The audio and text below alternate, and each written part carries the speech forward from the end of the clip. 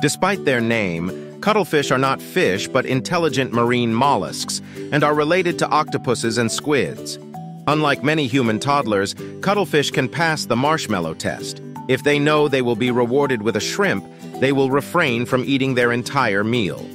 Cuttlefish can also remember what, where, and when they ate, a trait once believed to be unique to humans, all thanks to their large brain-to-body ratio, which indicates intelligence. Cuttlefish have the remarkable ability to manipulate the 10 million color cells in their skin, enabling them to alter their color, pattern, and texture with great speed. They may also use their tentacles to create shapes that aid in their camouflage and imitate other creatures to hunt for prey. Researchers noticed an interesting behavior of pharaoh cuttlefish. They mimicked a hermit crab in order to catch fish. Thankfully, for now, most species of cuttlefish are not endangered.